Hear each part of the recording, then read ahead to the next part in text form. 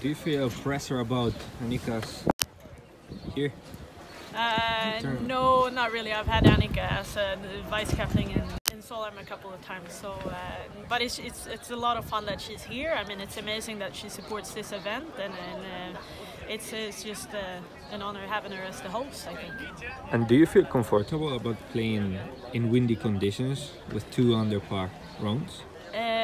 Well, I wouldn't say that it's comfortable playing in windy conditions. It's because it's always a challenge. But uh, I'm very happy with my game, and I've been able to create a lot of birdie opportunities, even though it's windy. So uh, I'm just looking forward to tomorrow, and hopefully I can uh, put on a good good game tomorrow as well. And we had in the tournament uh, Solheim Cup captain.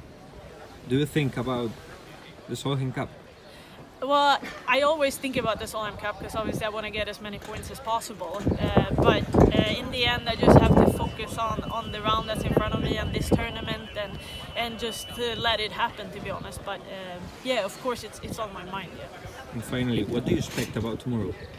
Uh, well, looking at the forecast, I think it's going to be pretty similar. I'm not sure, but uh, I mean, it will be tough. You can lose a lot of shots quickly here, so it's just about hitting good golf shots and, and hopefully make some putts, and, and, and it should be good.